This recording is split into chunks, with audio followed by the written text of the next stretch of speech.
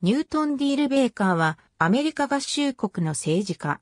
アメリカの革新主義時代を代表する民主党の人物であり、1912年から1915年までオハイオ州クリーブランド市長、1916年から1921年まで陸軍長官を務めた。執務室で仕事をするベーカー1871年12月3日、ベーカーはウェストバージニア州マーティンズバーグにおいて誕生した。ベーカーは地元の学校で教育を受け、バージニア州アレクサンドリアのエピスコパルハイスクールを2年で卒業した。ベーカーは1889年にジョンズ・ホプキンス大学に入学し、1892年に卒業した。ベーカーは在学中、プリンストン大学から教授として講義に訪れていたウッドロー・ウィルソンと知り合った。またベーカーは UI 会、ファイベータカッパの会員に選ばれた。続いてベーカーはワシントンリー大学法学部に入り、1894年6月に法律の学位を取得した。ベーカーはマーティンズバーグの法律事務所に就職し実務経験を積み、1895年にウェストバージニア州で弁護士として認可を受けた。1896年、ベーカーはワシントン DC において、郵政長官、ウィリアム・ウィルソンの秘書官となった。ベーカーはワシントン DC でおよそ2年を過ごした。ベーカーは1898年にオハイオ州クリーブランドでマーティン・ジー・フォーランの法律事務所に入り、間もなく弁護士業を独自経営した。左からシンシナティのヘンリー・ハント市長、トレドのブランド・ホイットロック市長、クリーブランドのニュートン・ベーカー市長、ベーカーは1902年にクリーブランド市のホーム部で補佐役を務め、続いて1903年から1912年までクリーブランド市のホーム官を務めた。ベーカーは市長トム・ジョンソンの自由主義な思想の影響を受け、強い革新政策を施行した。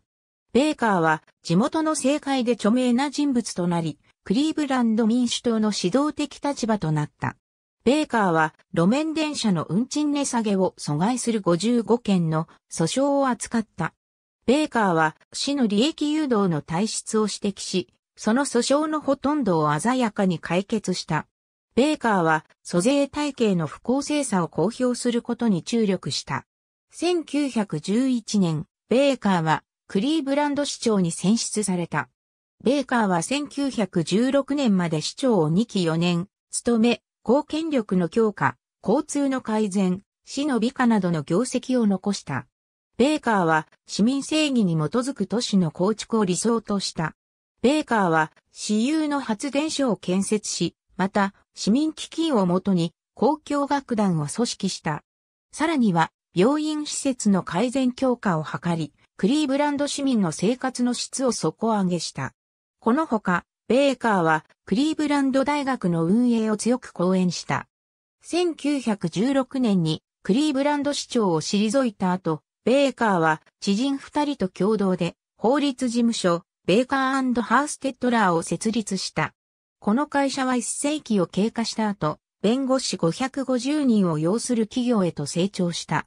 陸軍長官時代のベーカー・ベーカーは、ウッドロー・ウィルソン大統領の指名を受け、1916年から1921年まで陸軍長官を務めた。当初ベーカーは内務長官への就任を打診されていたが、その要請は辞退した。ベーカーの指名は第一次世界大戦への参戦の是非が問題となっていた国内情勢を鑑みた上で、ベーカーが双方の立場の政治家の支持を受け得る人物であったためである。ベーカーは陸軍長官として全国的徴兵という先例のない法律を制定し、第一次世界大戦への参戦に深く関与した。1917年の選抜徴兵法は21歳から30歳の男性に対して徴兵登録を要求したものであり、第一次世界大戦への参戦決定後は対象年齢を18歳から45歳までに拡大した。この選抜徴兵法により、第一次世界大戦の終結までに2400万人が徴兵登録し、政府は280万人を徴兵した。またベーカーは、陸軍長官として1914年のメキシコ侵攻を認可し、遠征先でのアメリカ軍の監視体制を構築した。1916年、ベーカーはメキシコの革命家パンチ予備リャを拘束するため、メキシコに遠征軍を派遣した。さらに1916年8月、新設された国防委員会の長としてアメリカの制限付き軍備の監督を行った。ベーカーは第一次世界大戦においてフランスでの海外派遣軍を統括するため、ジョン・パーシング将軍を総司令官に任命した。1918年12月、ベーカーはウィルソン大統領に随行してフランスへ渡った。ベーカーはパリ講和会議での交渉役を担当し、第一次世界大戦の終結を目指した。この会議の結果、1919年6月にベルサイユ条約が締結され、第一次世界大戦は終戦した。ハーグ常設仲裁裁判所の委員として1921年に陸軍長官を退任後、法律業に復帰することを選択した。ベーカーは法律事務所ベーカーハーステッドラーでの弁護士業に復帰した。ベーカーは法律家として全米各所で成功を収め、弁護士としての尊敬を受けた。ベーカーは複数の企業で役員を務めた。ベーカーはまた成人教育に関心を示し、アメリカ成人教育協会などの組織立ち上げを支援した。この間、ベーカーは民主党における重要人物としての位置を占め続けた。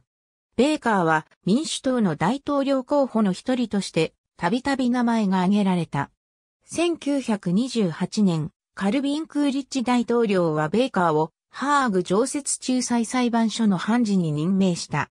1929年、クーリッチ大統領はベーカーを法執行委員会の委員に任命した。1933年、国立社会科学協会はベーカーに対して人間性に対する貢献を評価する賞を送った。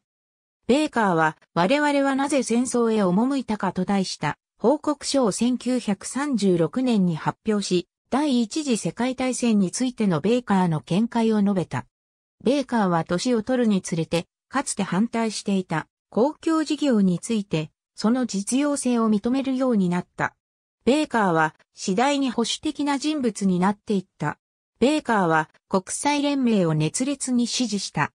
またベーカーはフランクリン・ルーズベルト大統領のニューディール政策に批判的であったが民主党を支持し続けた。1937年12月25日、ベーカーはオハイオ州クリーブランドにおいて死去した。ベーカーの遺体はクリーブランド市内のレイクビュー墓地に埋葬された。1957年、ウェスタンリザーブ大学はベーカーの栄誉を称えてニュートン・ディ・ベーカー棟を建設した。この建物には一般教室や大学運営本部が入り、大学の主要建物となった。この建物はアデルバート通りとユークリッド通りの角に位置し、セベランスホールが向かい側に位置していた。この建物は2004年11月に取り壊された。ベーカーと妻子・ベーカーは1902年7月5日にエリザベス・レオポルドと結婚した。ベーカーはエリザベスとの間に一男二女を設けた。